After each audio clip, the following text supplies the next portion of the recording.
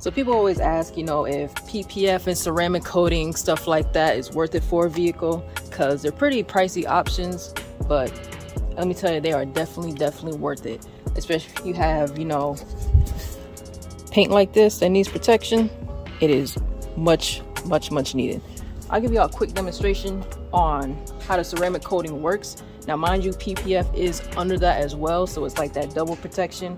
So to help with rock chips, and when I get ready to clean it, just makes it that much easier.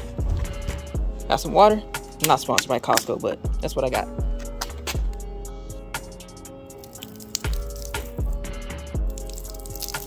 Like magic.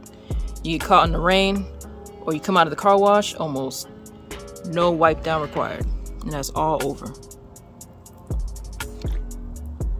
Drips right off. Best investment ever.